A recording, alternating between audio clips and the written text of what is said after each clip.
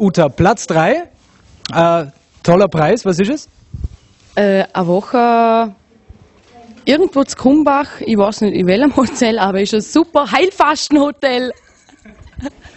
Eine Woche Heilfasten, da hat sich's gelohnt, oder? Natürlich, man sieht's mir auch, oder? Ich hab's nötig.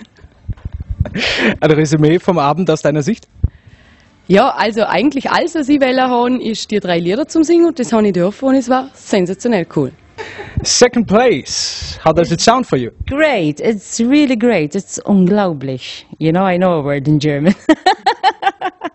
no, really. I really enjoyed myself and um, very good organization and very good sounds, very good light, very good everything. Really, I really enjoyed it. Very good publicum. You know, I, I didn't have so many fans here while.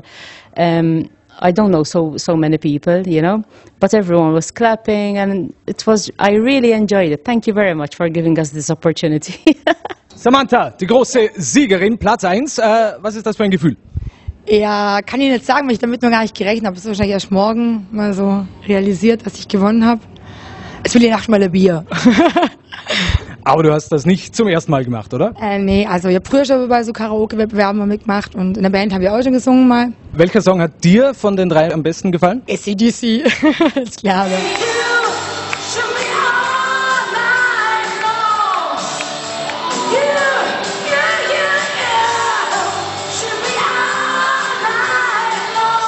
Ah, und der, der Plasmafernseher, der steht ja auch noch aus. äh, Platz dafür überhaupt? Ja, dann muss ich einfach sie rausschmeißen. ich will schon Platz machen. Okay, dann viel Spaß mit dem Plasmafernseher und noch einen schönen Abend. Dankeschön.